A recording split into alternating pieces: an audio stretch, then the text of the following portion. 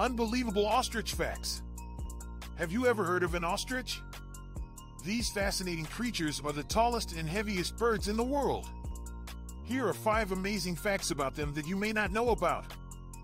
First, ostriches can run up to 43 miles per hour, making them the fastest two-legged animal in the world. They can also sprint short distances at up to 70 miles per hour. Second, while most birds have hollow bones, ostriches have solid bones to help them keep their balance while running. Third, ostriches don't fly, but they can jump as high as 8 feet off the ground. Fourth, ostriches have long necks, but they can't move their heads up and down.